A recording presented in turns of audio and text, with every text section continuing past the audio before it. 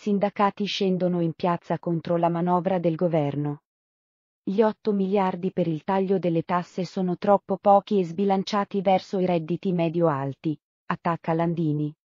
I sindacati scendono in piazza contro la manovra del governo.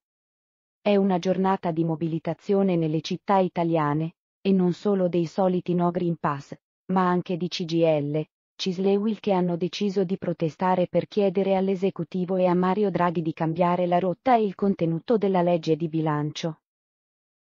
Dopo la discussione sulle pensioni, finita con lo strappo dei leader sindacali che hanno criticato apertamente la scelta del governo, al centro della polemica c'è la riforma fiscale e gli 8 miliardi previsti in manovra per il taglio delle tasse, la trattativa sul fisco, se c'è, non può essere che ci convocano per dirci cosa ha deciso la maggioranza e per informarci protesta il segretario della CGL.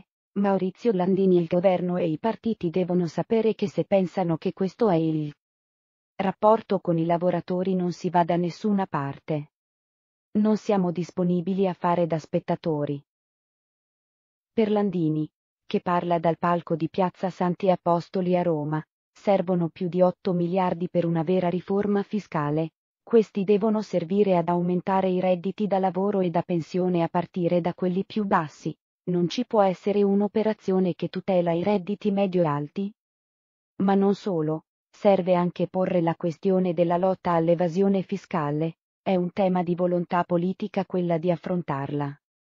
Il governo si era preso l'impegno di riconvocarci, ma c'è un evidente ritardo che va colmato già nei prossimi giorni.